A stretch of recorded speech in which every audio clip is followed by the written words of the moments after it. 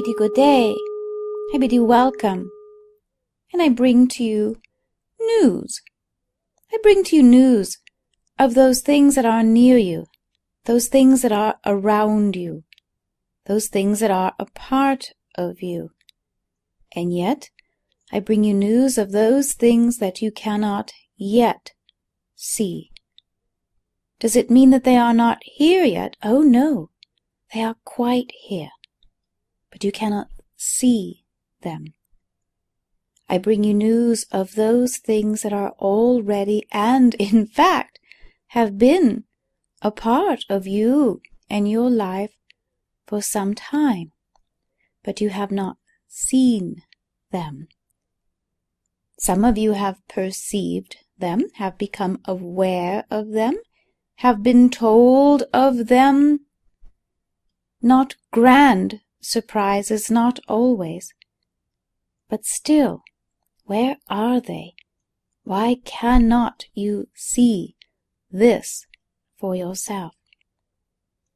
So our topic for this now time then is what you can see versus what you cannot see, what you can perceive versus what yet goes unperceived. Perhaps you have heard it say that the invisible realm is even more real than the physical. Well, I would confirm to you that this is true. However, how frustrating is that to hear? How frustrating from your point of view to be told that those things that are most beautiful and most real cannot be perceived by your physical eyes. And yet we will look into a variety of places and planes of consciousness to explore this interesting subject. Imagine the beauty of conception. Well, you cannot see that taking place other than through a very particular microscope, and yet many are aware of the moment of that, the moment of conception. Physically, you can comprehend this idea. There is a moment at which an idea is also conceived. And yet this also goes unseen. It belongs to the realm of the mind, to the realm of thoughts, where thoughts come together, and you cannot see thoughts. They are non-physical things. Or are they? So you begin to gather our conversation then. What things are visible and what things are not? What can you see? Can you imagine that you could see the birth of a thought, that you could see the birth of an idea taking place? Well, those who assist you in many ways do. The many guides who work with you and near you, they are aware of when you are coming very close to conceiving of a new idea. How is it that they know when you are on the threshold and about to cross into a new plane, a new directive of consciousness? They can see it with eyes, but they are not physical eyes. In essence, then, we must begin our discourse by acknowledging that the physical eyes have more limitations, perhaps, than you have come to realize. Yes, to have vision and sight is very, very important. But sight and vision are not exactly the same.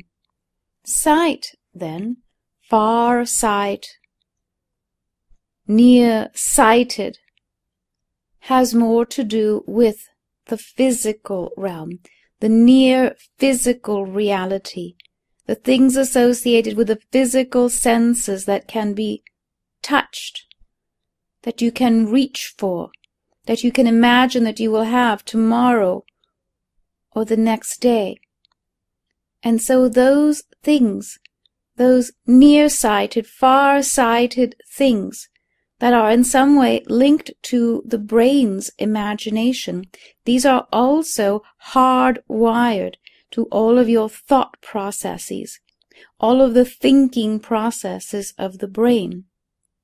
Now, the brain is a very amazing machine. It can process many, many things and thoughts and ideas. And based upon these, it sends that information in all of the variety of ways that it does so that all of your senses can perceive, can sense everything that the brain senses. And so you do. In terms of sight, then, you are able to see everything that the brain sees. So the brain sees first, and then your eyes see. And then, based upon what you see, all of the other senses also become enlivened in this particular description that we have. It is not being said that if the eyes do not physically see, that the other senses are not at work, but here and today we are concentrating upon the physical eye sight. At another time we will concentrate upon the other senses, and much more will be discovered about those as well. The physical eyes, then, sense, perceive, or see, as you call it, what the brain instructs the eyes to see on its behalf. If the brain does not or cannot conceive of an idea, a thing, a place, or a thought, you would not be able to see it. Not in your mind's eye, not with the physical eyes. So, in order for you to see something, it must first be acknowledged, reckoned by the brain, the local brain, the local thoughts, meaning everything associated with your physical reality and your physical life. That is what we will call your localized reality, local reality. As you begin to perceive then the ideas associated with time and place and understanding, all of these directives then come from brain, local brain, to thought, to eyes. And so you see an image or even a thought in front of you. What would happen if your brain were not able to conceive of a thought or an idea? A purple ball in front of you. If your brain could not conceive of the idea of a purple ball in front of you, your eyes would not see it, even if it was there, even if it were right in front of you. Perhaps you would come in contact with it and then your brain or your thought would say, There is something new in this environment, and then it would become part of the environment. But the thoughts and brain associated with an object, a thing, a thought, in order for them to be real or realized in your local environment, they must become part of the process, the need, the understanding, or the directive. So, what we are saying is that the ideas that are present in your life, the realities by which you direct yourself, are part of what is fed to you, part of what your understanding offers to you. And this is supplied by brain, brain waves to be specific. The very waves by which all things travel to you and through you. The local brain is stimulated then by all those things that it believes, all those things that it has been told or has stored in this local area. It is localized then. Those things that are real belong to your local, real environment. Things that you have seen or touched, or been told about, or encouraged to have, to be, or to do. Everything falls under this normal range. For instance, you have been told that you cannot see under certain infrared circumstances, that the eyes cannot detect under those circumstances. Therefore, you cannot. You have been suggested that under certain ultraviolet frequencies you could not see or perceive with your normal, natural eyesight. It is not normally accessible to you. The brain has this idea, this belief. The eyes must follow it. Therefore, although the eyes are lenses and can see what light dances or touches or surrounds a subject with, if the brain does not agree to that, you would not see it. Now, for the simplest of examples, we have used the purple ball introduced into an environment.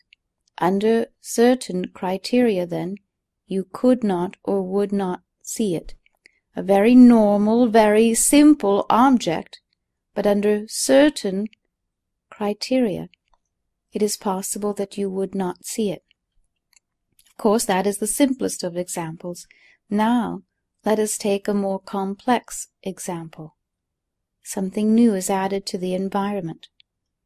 Something new or different becomes part of your world, of humanity's world, of the earth. If brain does not conceive it, does not agree with it, if it is a paranormal event, a metanormal event, it is likely, it is entirely possible, that you would not see it, no matter how real it was, if you could touch it even, if it were right next to you, if you could feel its breath, if it were that, even then you would not see it. Now, why is this subject important at this time?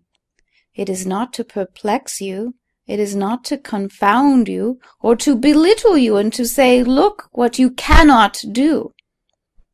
It is in fact to bring awareness to you, and as you hear these words in Gaia's own frequency, they also stimulate certain corridors of thought within you that remember, that remembers those things that can be seen with a different part you see, your eyes are intelligent eyes.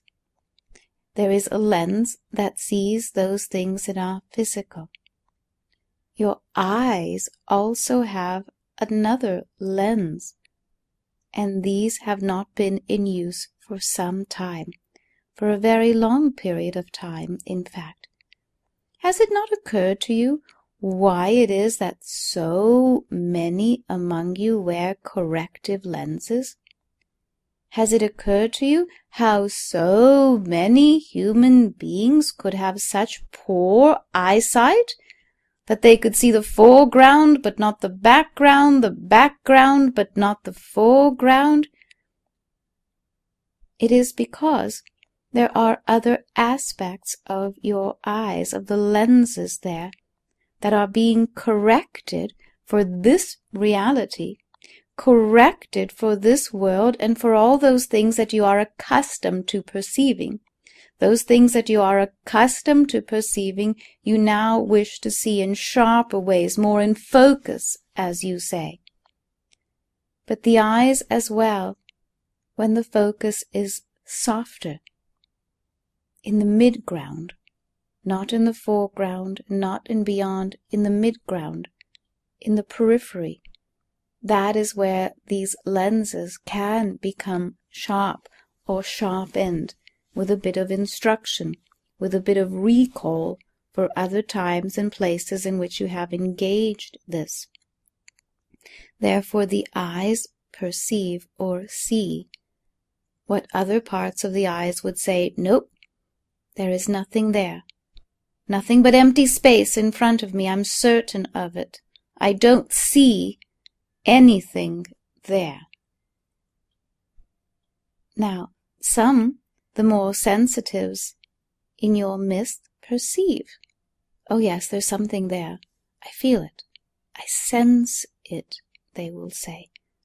And they have become accustomed to not seeing it. Perceiving? Well, yes. Sensing, yes. But not seeing. Why?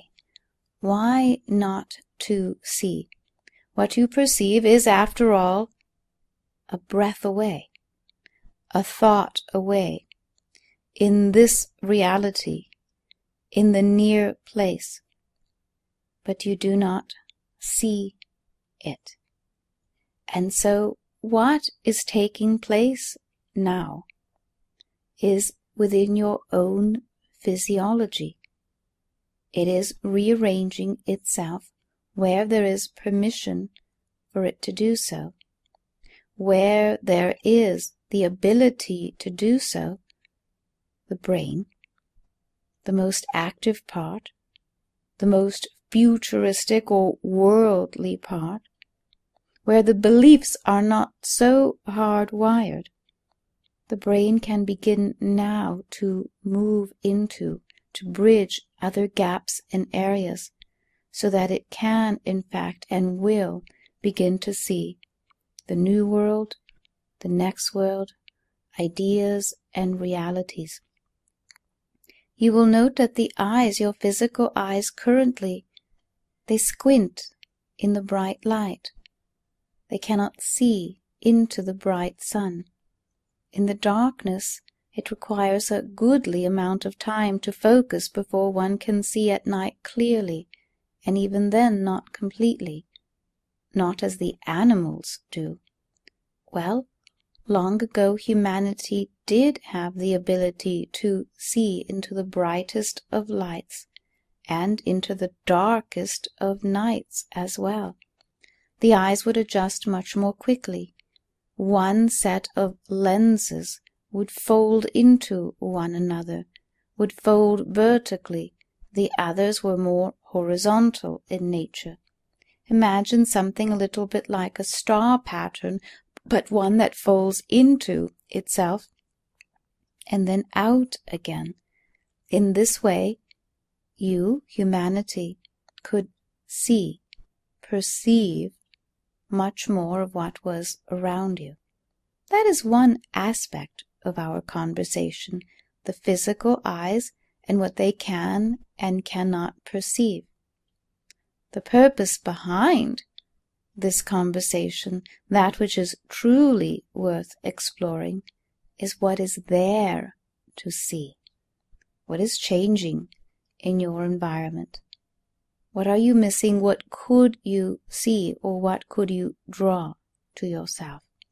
Well, indeed, then, comes the idea that what is in the physical world is proximate to you, is dense, physical atoms that have become so densified as to become part of this world. Well, with so much discussion about the next world, what is in the next world? What will you see or touch or know or discover? that which is lighter. That which is lighter has less density to it. This means more than simply that it may weigh a little bit less. Those things that have less density or higher frequency as the correspondences go have more space between the atoms, the molecules. That space is not empty space, it is intelligent space. So what is near and around you now is intelligence. It is a higher order of intelligence. It is thought, but arranged in a higher order. Can you see intelligence? In fact, yes, you can. You can see it. You can feel it. You can see intelligence. You can see intelligent thoughts forming. Now, here is an example that I will give to you, one that is very current. Why do you believe that although you cannot see it of your own accord, your digital cameras are capturing orb images? Yes, you can see that how light arranges itself and with the quickness of the lens of the camera, that is what is being captured, that form of light. You are surrounded by orbs all of the time. Many of these orb-like images are thoughts. Do you wish to know what thoughts look like? Many very creative and intelligent thoughts look like orbs. Now, if you see a cluster of these at times, it is thought that is as yet unordered. It is thought. It is subject. It is arrangement. It is light that has not yet dispersed into individuality or uniqueness. It has not been called upon yet. Do all thoughts look like orbs? No, not necessarily. But ideas that are conscious or near conscious, semi conscious, do, because they have arranged themselves into that shape. Notice that the example that I gave you of the physicalness was a purple ball, the shape of an orb. That even that you could not perceive unless the brain says, Oh, that is intelligent thought that perceives to me. It belongs in my environment. I accept that in my environment. In terms of the orbs, then, many have accepted into the environment of the photographic world that orbs present themselves there and that light shined on and through them in such a way captures that image. It is there in the picture. It must be there around you. So here you have the introduction of a thought that now is already in your world. Now currently the belief is, yes, the camera's lens can capture that. Well, if the camera lens can capture it, why cannot your physical eyes do the same? And the answer is that they can. In fact, they can. And in fact, they do. And in fact, you will capture that and much more. The process then involves desensitizing the brain and making it more sensitive in other areas, other areas of the brain that correspond to the other lens of the eyes. It is not truly a difficult subject matter. It is no different than a switch. One goes on and the other goes off. Well, in this case, the two can be turned on together, but the brain does not quite know it yet. It is being informed of that. The newer generations, for the most part, already have that. Generations that have been upon the planet, upon the earth for some time, do not have the clear ability to do so yet. So it must be brought into the environment by one or more ways. The photographic way is one of them the brain or you, what you call you, becomes accustomed to what is captured in the lens and under certain conditions of light. Now, what is missing from this equation is that you have not necessarily been told what orbs are. Oh, they are light mysterious, light dancing, delightful you are when you find one in your photographs. You are so delighted. Some part of you knows it is something that pertains to you, applies to you. Some part of you knows that everything is arranged this way. And this is what you arrange yourself as well. Now, if you could see yourselves, your bodies, your subtle bodies, as you appear to those that guide you, many times you appear as a series of orbs as well. Sometimes very heavy ones, very dense ones, that appear to look like a chain. A chain of seven, for instance, seven chakras, a chain of seven densities, a chain of seven worlds or seven moons strung one to the other.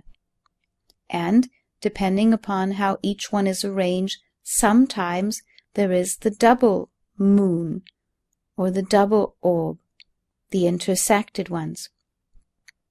Sometimes one appears as a shadow, in front of one, behind the other, next to one another. Sometimes it appears very much like a cluster that is moving together and apart.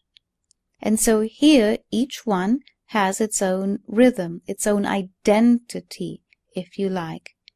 No two are alike. And yet the idea of what you are and how you are arranged and how you can combine and recombine yourself, that is a matter of the world itself. Well, this world is changing now. The world in some ways is ending, rearranging, remaking, and beginning. This means that many of the ideas about you, about your world, about what is real, and about what is seen and unseen is also changing now. Therefore, again, the importance of these words is how you receive them and what you will do with them upon receiving them.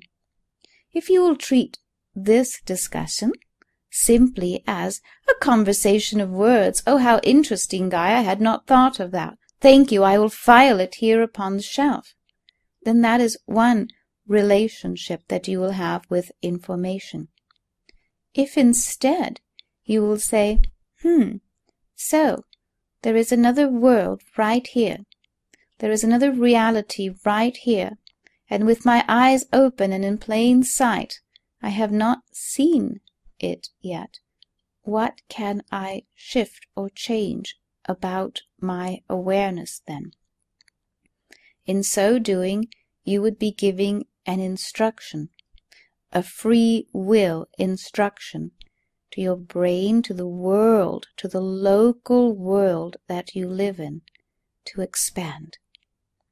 To expand its thought process, to expand its horizon, so that the parts of the physical eyes that perceive will remain awakened.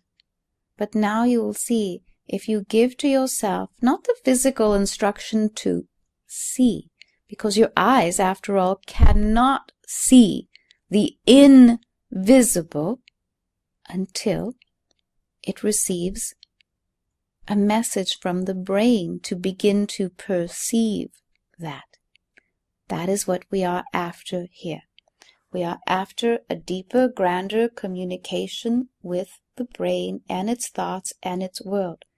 We are after the idea of reorganizing the structure of these thoughts from what it considers normal to an expanded version of that normal, something that is greater than normal, something that is normal plus, normal in the new world, an expanded view of normal, an expanded view of what you are able to participate in, to see, to touch, to feel, to guide, to receive. The world is changing. We offer this to your thought. We offer this to the processes that take place within you, that the fields that surround you, that spiral about you, begin to de-densify, de-mystify those things that are invisible to you. Now, Once you give to yourself this decision, this instruction, at first the brain will say, Yes. In the next moment it will say, But nothing has changed. Nothing is unique or different. That is also very true. And so the next instruction then is to give the brain the instruction that you would like to begin to see those things that are transparent in nature and to have these revealed to you. This is an important distinction and one that must be noted. There is quite a difference between invisible and transparent. For instance, orbs are invisible to you, but under certain circumstances they are revealed. They did not come out of their invisible structure. They became transparent. You saw a transparency. Therefore, a transparency is something that you can see through. Those things that are invisible remain invisible or out or beyond your ability to see or perceive them. So, in order to bring this new vision of perceiving those things that are near enough to the new world to you, to bring them into transparency, that is the next step. Those things that are transparent, you will more than likely see an outline to. Now take care here because in the beginning some of them may appear to be shadow like. So it is important that you do not think, oh dear, and that is a dark thing coming to me, at me. No, no, not at all.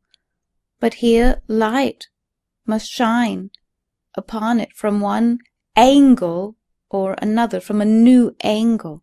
Therefore, you will see an outline, and depending upon the angle of light that is cast upon those things in your environment, you will see an outline, and that outline may come in a variety of shades of color or shadows of color. You see? It is no more than the adornment of light as it comes dressed. Now, do not yet, do not now, expect to see beings. Not yet. However, begin to expect to see things, objects, symbols, ideas, and yes, orbs in daylight. Lighter forms of thought you may find yourself momentarily light-headed or transformed. So you may wish to practice this exercise, a simple exercise of perception, in moments in which you will not be easily flustered, certainly not while you are piloting one of your vehicles in the brighter lights. In a sitting motion, allow yourself to dance with your eyes looking up and down and around, not by making yourself dizzy, more as if it was a wave, where you allow your eyes to travel naturally from a heightened room or to its ceiling, down to its floor, around from all the way to the left as you are able to extend your peripheral vision, all of the way to the right, and then beyond it as well. Then place your perception behind you as well, as if you had eyes in the back of your head. Then you will begin to arrange yourself again to do the same. And you will push, in a sense, with your eyesight, with your thoughts. Push, not so that your eyes become tired in the process. Here you are not pushing your physical eyes to see, because it is with other lenses, other corrective lenses that you have within you, that you will begin to see out of your periphery, above, beyond, underneath, through, and around. Another exercise you may perform is to place a rather simple but large object before you, or sit in front of one that is there and motionless, and imagine your eyes then moving around that object so that you can see it from a different perspective. It can be a bookcase, it can be a mountain, it can be a rock, can be a piece of furniture if you like. You may make this as simple as you like and as delightful as if you wish. Now, it is important, at least in the beginning, to work with those things that are considered physical or dense. That is how you will be able to see the difference. For instance, if you placed yourself in front of an ocean with the movement of already the liquid water, it would be more difficult to perceive what has changed or to see with different eyes. The idea here is to begin to see with your brain through a different part of your eyes. Yes, it is your physical eyes that we are speaking of, and at the same time there are other lenses, other corrective, correction lenses. In this case, we are correcting what one world has presented to you in favor of what the next world is already bringing near enough to you. If we had approached this subject last year, twelve months prior to this moment, you would have seen less. If and when, in fact, we approach this subject again next year or in several months, it will already have arranged itself again.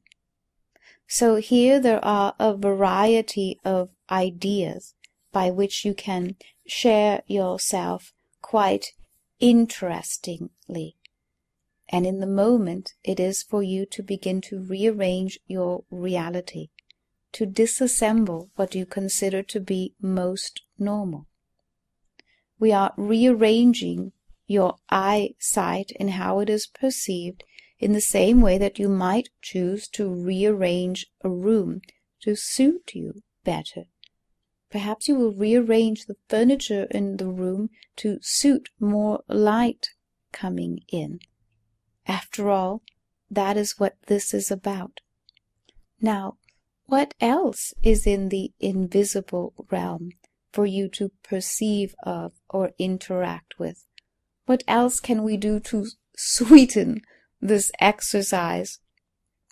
Well, in essence, what is near enough to you now are newer ideas of who you are, a newer image of you. Perhaps you have heard say that there is another that is just like you, your twin, your idea of self, your mirror self. That also exists as light and it can be just near enough to you that you could almost see yourself in your own environment. Now, if you were to see that now, it would almost shock you. It would seem a little bit troublesome to you, perhaps, if you were to, with your physical eyes, see some one, something that looked exactly like you in front of you in the same environment. Something about that would not seem right. But now let us collect the thoughts together. Where are you in this moment? Are you certain that where you dwell is in this now body that you occupy? Can you not just as easily place your awareness across the room and say, Now I am there? Well, if you could just as easily do that with your awareness, then you could, with a little bit more help and practice, also assemble just the right quality of light, just the right frequency of sound by which to assemble another version of you. Before you think this is rather too strange, is it not the concept of bilocation that we are speaking of? Would it not be that you would construct another version of you with your awareness so that you could see elsewhere, perceive of other environments, and like that? So here is an added benefit. Those things that seem to you extraordinary, if they were indeed possible at all, how could I arrange myself just so that I could be here and be there also. Well, this is the beginning of that idea. Here is another benefit then. I do not say to you it is immediately possible for you to arrange yourself in such a way. However, it is, in fact, quite possible and probable with very little work on your part. The work comes more from the brain.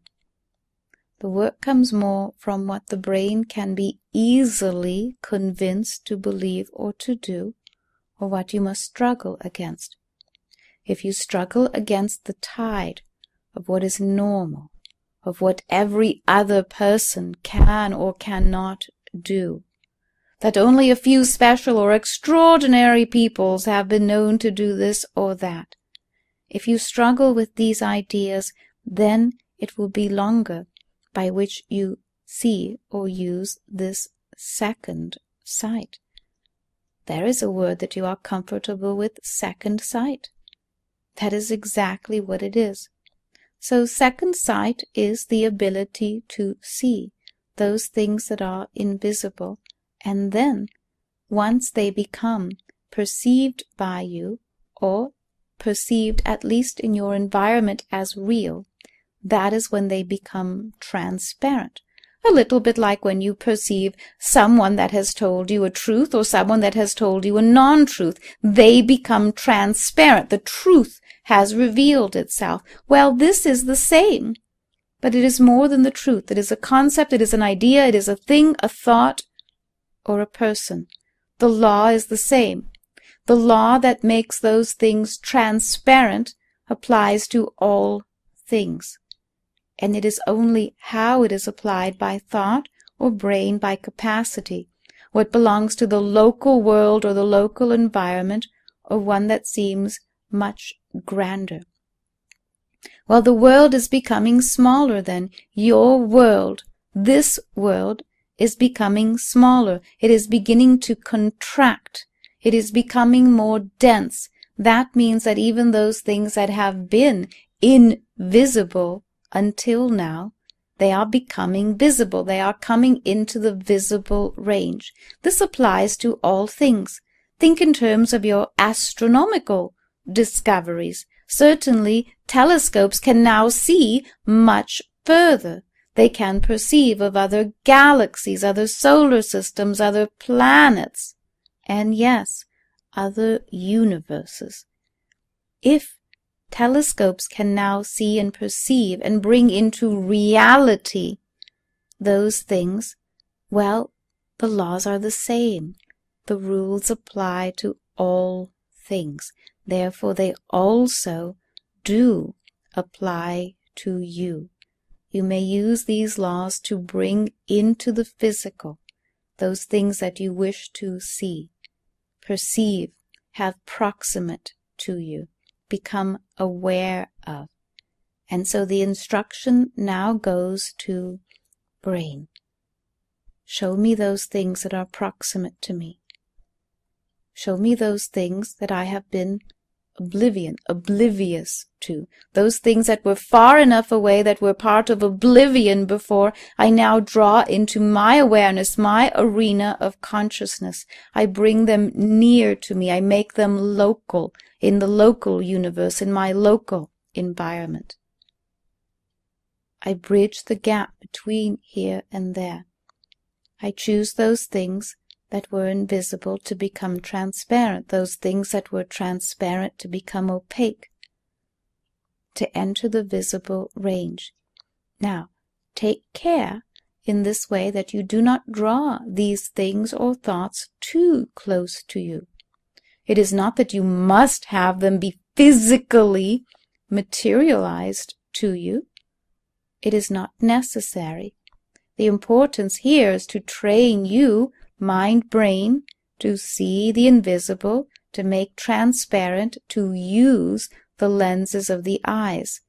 The exercise is not to take those things that are invisible or transparent and force them into third density. It is you that wish to move into the lighter worlds. Do not force the lighter worlds into your density. Notice how it is that you have many guides and teachers that surround you, yet the moment you try to coax them into manifesting for you, becoming physical for you, you feel them pull away. They do not wish to be drawn into this world. They wish to assist you by drawing you into the next thought or the higher world. This applies the same. Use what is given to you. It is a light instruction. Literally, it is working with light, with visible light. Do not bother to overtax the eyes in this case. Remember, it is the brain that sees. The brain gives instruction to the eyes, and the eyes will see or perceive or bring near enough and so the eyes are remaking themselves. This instruction is for you, for your awareness, for your thought waves to repattern themselves. The instruction is not for corrective lenses for the eyes. That will come. We speak then of those things that are invisible. How many other beautiful, imaginative, creative things and thoughts dance around you, near enough to you, but you do not see them yet. The purpose of this gathering, then, the purpose of these ideas coming together is to assist that process, to bring the non visible into the visible, to bring your awareness, your frequency to the next level one step up the ladder, one step over to the side. You will note that as we continue to gather, you will have newer, other subjects to explore, each one stretching you just a little bit further. Each one allowing both mind and brain to listen, to participate, to engage. We are engaging the next world now we are engaging newer truths, making them available to you. I tell you that these are advanced discourses and that we will continue in this gauge now. Attune yourselves then to the voice, to the frequency, and to your desires as the new and next worlds come very, very near to you. Well done. Until the next moment, I bid you good day.